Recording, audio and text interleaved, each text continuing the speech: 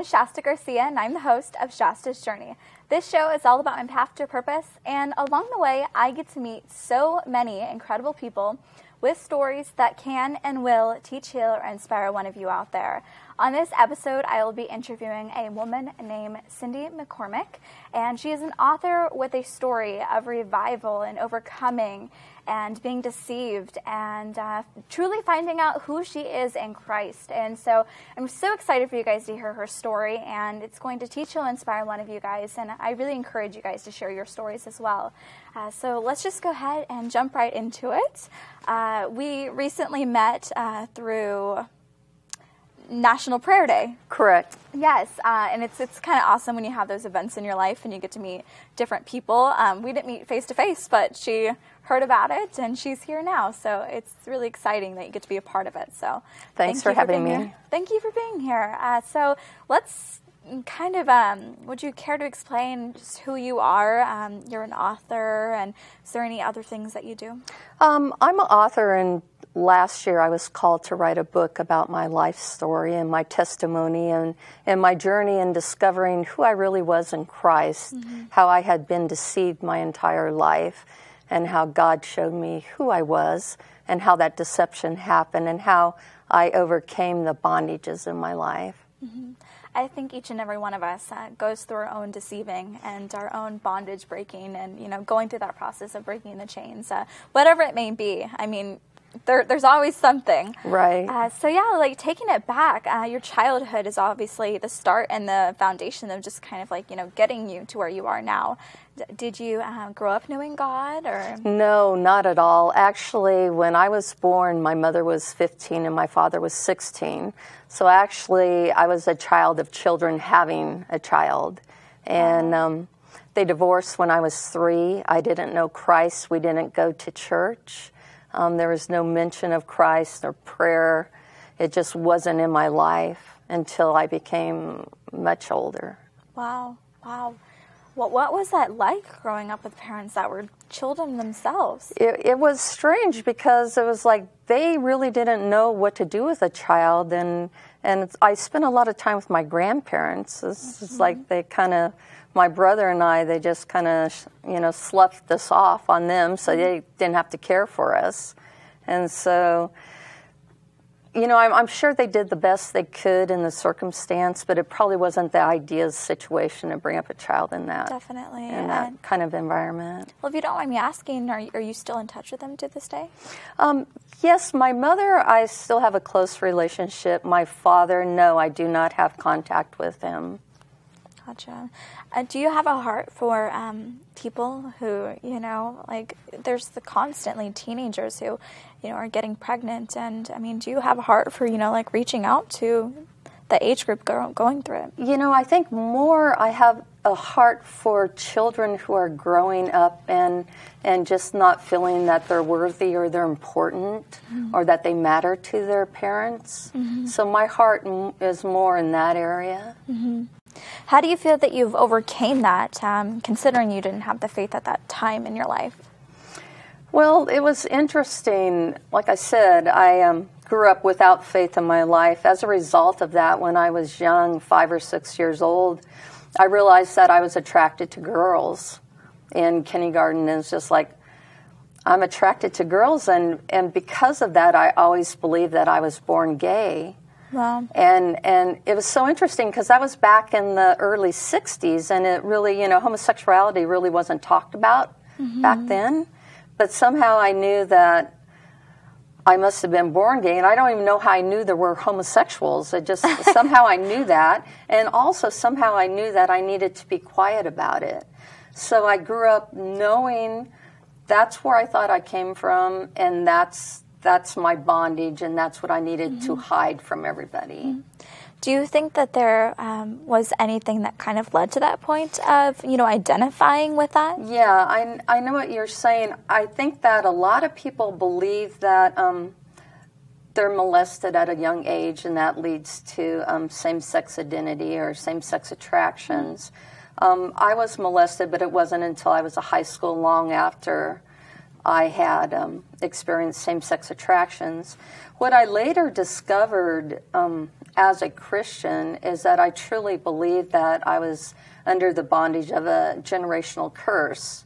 And in the Bible, it says that God places the sins and inequities of the fathers on the children to the third and fourth generation. I came from family that had sexual sin on both sides of my family, both my mother's side and my father's side. And I believe because of that, that I was born under a generational curse, and Satan used that to make me believe that I had been born gay. Wow. And what were some struggles that you had uh, going throughout your childhood and your high school years and kind of leading up to where you are now um, with identifying that you're gay? Yeah, the struggles. Oh, it was like I said, it really wasn't talked about a lot back then, and you feel isolated and you're the only one. Um, and I always had this this pain I was trying to get rid of, and I was trying to use drugs to get rid of it, or alcohol to get rid of it, or I went through a period where I was actually self mutilating and cutting myself to try to release this intense pain inside that I was trying to to get rid of and I just didn't find any relief for that. Wow. So there was something missing throughout that whole time. There was there was this great hole in my heart that I just I couldn't fill it. You know, throughout my life I tried to fill it with relationships, with achievements, um, mm-hmm. with um, making a lot of money, being successful. Everything I tried, nothing would fill that hole that was inside yeah. until I found God. You know, that, that's an amazing testimony in itself because I think all of us, uh, whether somebody is gay or not, we all have um, something that, you know, has punctured a hole in our hearts, you know, that can only be filled by one thing. And how did you come across, you know, feeling your heart and, you know, being whole and complete again?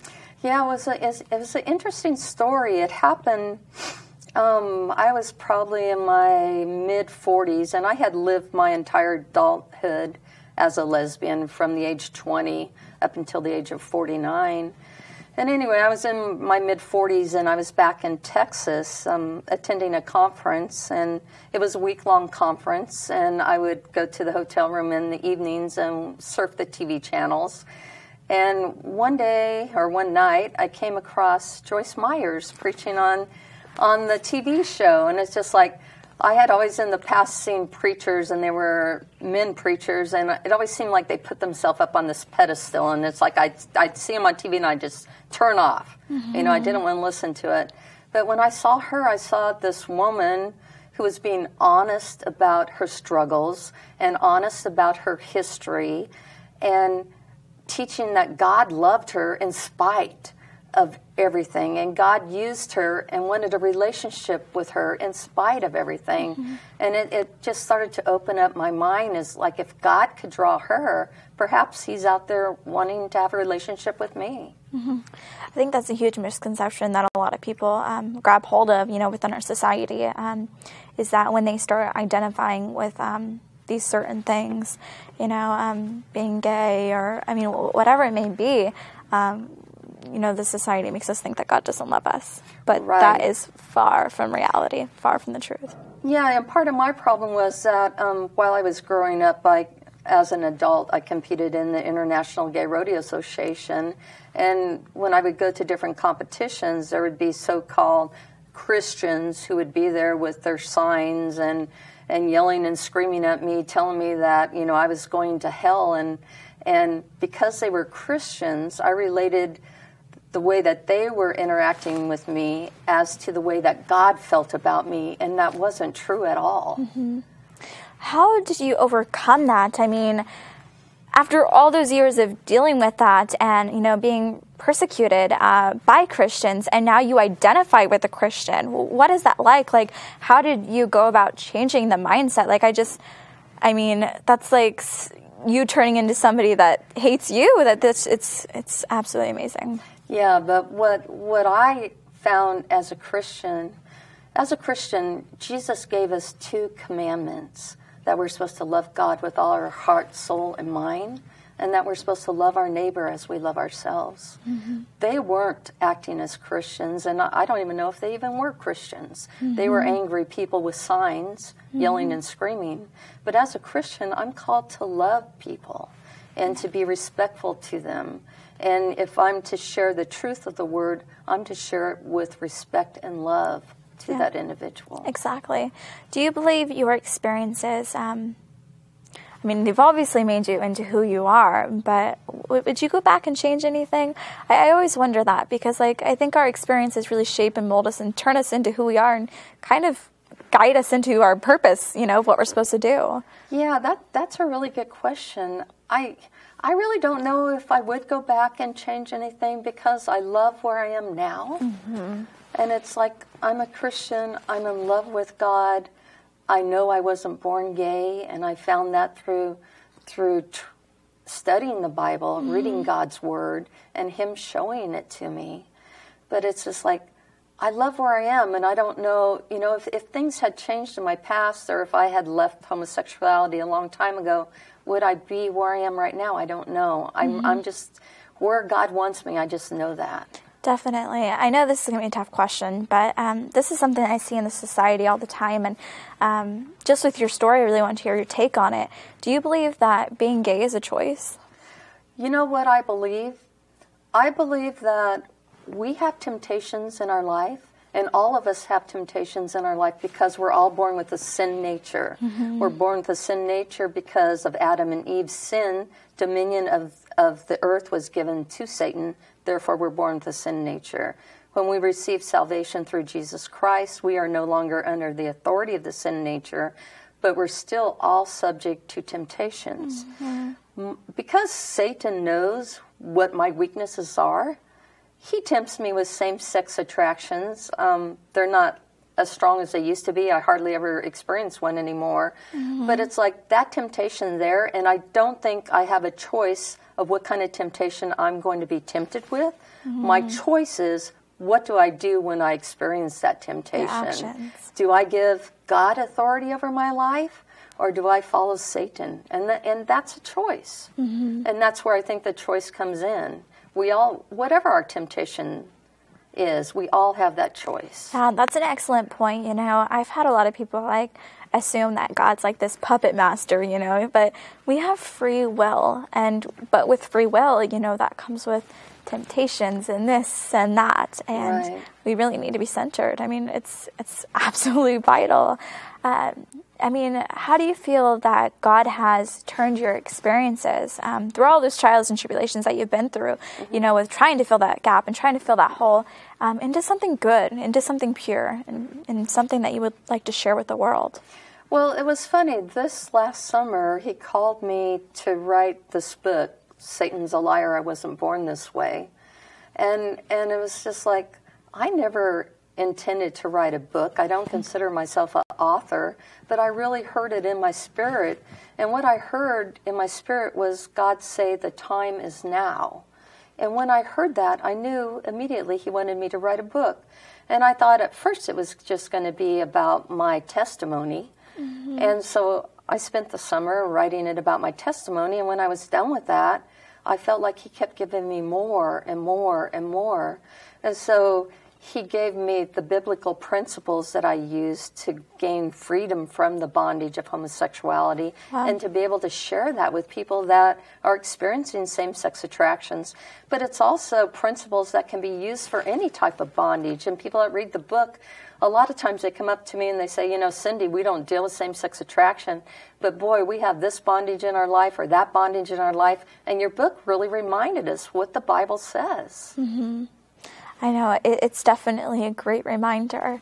And uh, I think it's just so prevalent. Um, and the time is now. Uh, the time is now. Yeah, I mean, right. but for each and every one of you watching too, your story has an impact in this world that not everybody like for instance like me my story can't impact you know certain people. So it's really important for us to use our experiences that we go through and share it because there's people out there that need to know that they can overcome the circumstances that they're being tempted with and that they're trying to overcome. I mean that's it's important. So how has your faith played a consistent role in you sharing your story?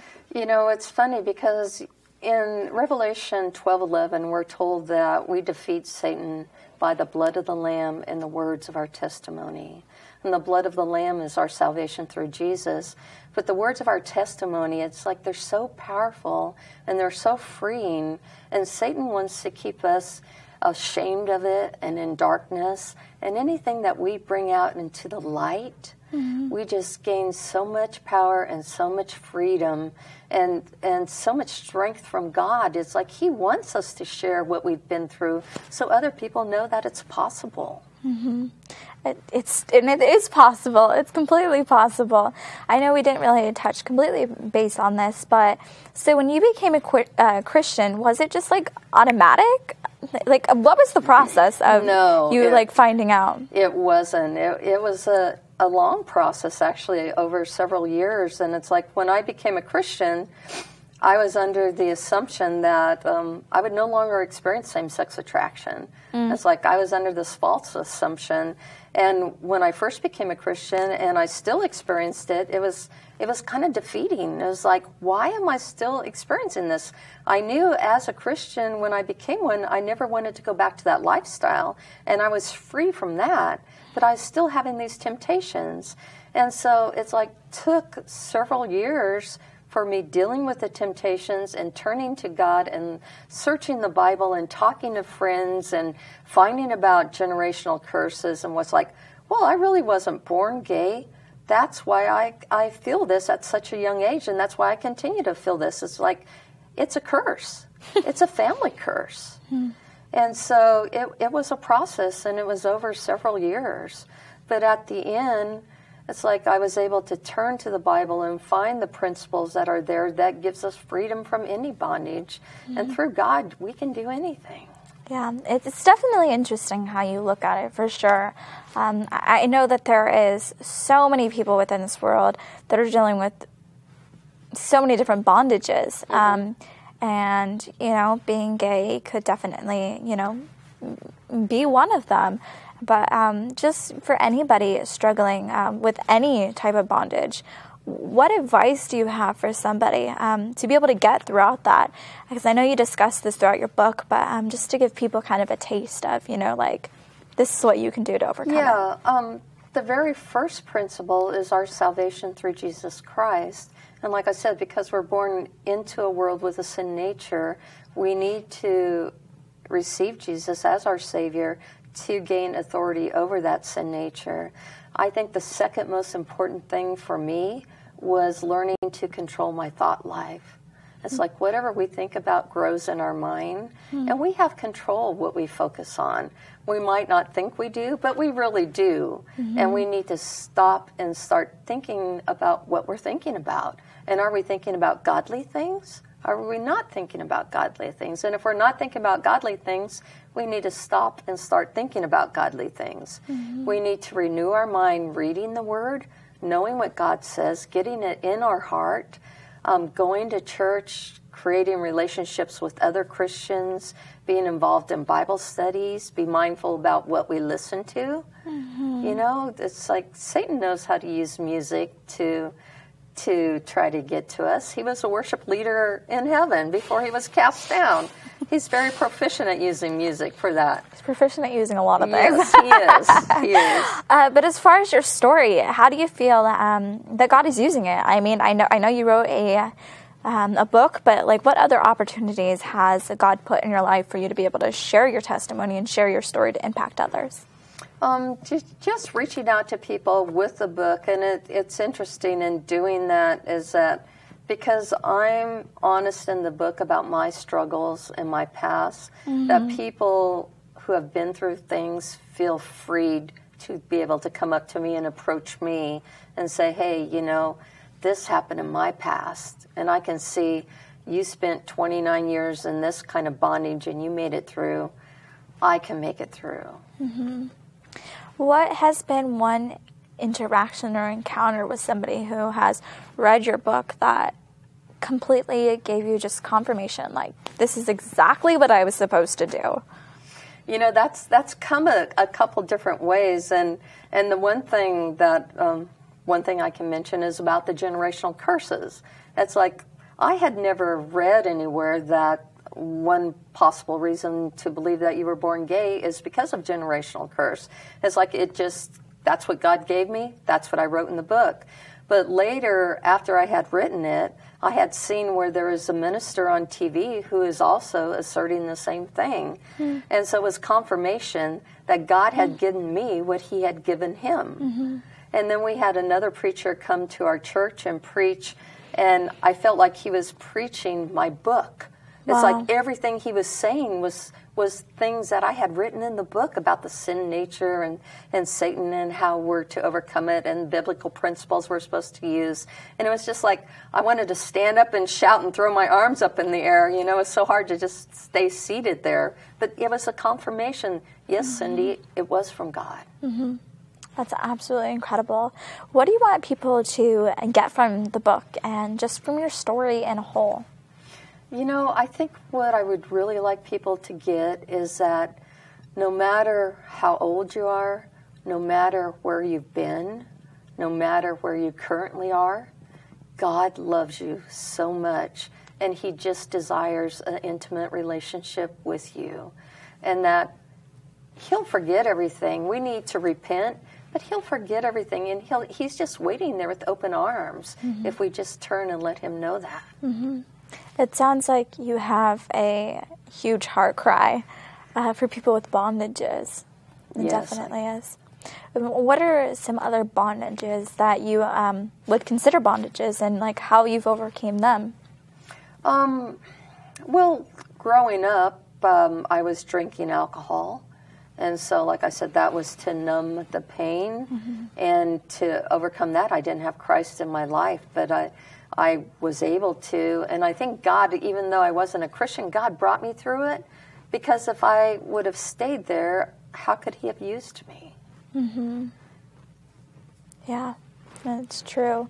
And for those out there who are struggling with identity, um, I, I, mean, whatever it may be, uh, you know, within this generation, within our society, we are constantly bombarded with um, stereotypes and um, different ways we should identify ourselves. And um, I, I, mean, there's just so many things now. I mean, it's been crazy over the last few years. You know, now we got transgender, and um, I mean, just there's just a huge range of it. So, I mean, what do you have to say for the people who are struggling with their identity?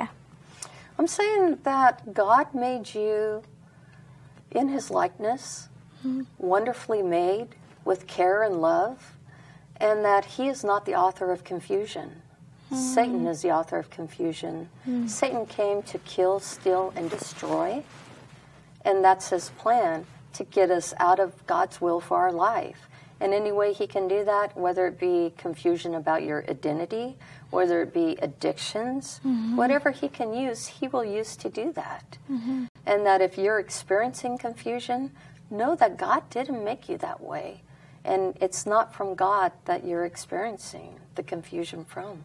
Definitely. And I, I, think the important thing to point out as well is that um, sometimes there's a misconception when you give your life to God, everything completely changes. You have no more trials and tribulations, no more temptations, nothing at all. Like, I mean, crystal clear, perfect little world. What, what do you have to say about that? yes, I was under that assumption. And I think sometimes the church doesn't do a very good job with that, explaining people. It's like once we become Christians, we aren't free from temptation. We're attacked even more. yeah, there, there's a target on your back now because you're doing things for God, mm-hmm. and that just doesn't please Satan at all. Mm-hmm. So it's like, no, once you become a Christian, the thing to know is that at least God is on our side. He'll walk through us with anything we're going through. He tells us he will not allow us to be tempted beyond what we can bear. He also tells us with every temptation, he will provide an escape. Mm. So we know we might have temptations and we might have struggles, but we're not struggling it alone anymore. Mm-hmm. We're struggling it with the one who created earth and the one who created us and the one who knows how to get us through that struggle. Mm-hmm. Will never forsake us nor leave us. and while you were talking, I was thinking, what are your escape routes? Just out of curiosity, like like how do you escape temptation? You know, um, I mean, whether that's something you see, something you hear, something you think. Yeah, yeah. Like I said, um, my biggest thing was mine was controlling my thoughts and mm. thinking about what I'm thinking about. It's like if I if I experience a same sex attraction, if I sit there and think about the object of my attraction all day long, it's not going to help me. That just makes it worse. Mm-hmm. It's like I need to control those thoughts and keep them in the order of God's word and keep them under His authority. Mm-hmm. Um, sight, yeah, be careful what you look at. If something tempts you, turn away. Don't take a second glance. Listening, music that you listen to. You know, there's there's old music that I'd listen to, and it would take me right back. As soon as I'd hear it, I'd go in my mind right mm-hmm. back to the mm-hmm. person I was with when I when I used to listen to it, or what I was doing when I used to mm-hmm. listen to it. Mm-hmm. So that there's a lot of things that we can do that are under our control if we really pay attention to what's going on in our life and not go through an automatic pilot. Mm-hmm. That that are there, and it's in the Bible that tells us how to use them. Yeah. I, I think your story is um, really authentic and it's not only vital um, for people who are dealing with bondage, um, but also Christians and you know faithful people to know that there are going to be those things that people identify with that this you know our society makes a huge deal out of, and you know it's our job to love. Um, and and I, I, think that's a huge part of your story. Um, I, I, really do. Um, just like from just talking with you, I mean it's it's extremely vital. So, what advice do you have um, for Christians? Um, because I don't feel like um, us within our religion we've really been taught how to you know manage how to deal with those types of things. Mm-hmm. Well, anytime we approach anybody we need to do it in love and with respect. And and if I'm bringing a sin to your attention, I'm doing it because you're my friend and I love you and I don't want you to spend eternity somewhere where it's not going to be a good place to spend eternity. I'm doing it out of love because I don't want to see you go to hell. I want to see you spend an eternity with God in love and peace. And my concern is for you and your well being. Mm-hmm. Well, with that being said, we only have about a minute left. Um, but how can people go ahead and contact you um, so they can see your book and hear more about your story and get in touch with you um, if you guys were taught, healed, or inspired? Sure. Um, the book is available at my website. It's returnhome.today. It's also available on Amazon um, Kindle. It's also available at some bookstores, so and they can contact me through the website. There's mm-hmm. more information on the website about same-sex attractions and biblical principles. Perfect. That's wonderful. And thank you so much for reaching out to me um, over the course of you know these last few weeks and uh, making it happen. So thank you for being a part of my path to purpose. It means a lot. And thank you guys so much for watching. Uh, I really appreciate it. Please go ahead and share your stories at shastasjourney.com or our Facebook page. And also, you can watch old episodes and new episodes on our YouTube page at Shasta's Journey. I'm leaving for Mexico for three months, but I will be back. So I will see you guys soon. Stay in touch, and I hope you guys were taught, healed, or inspired. Bye bye.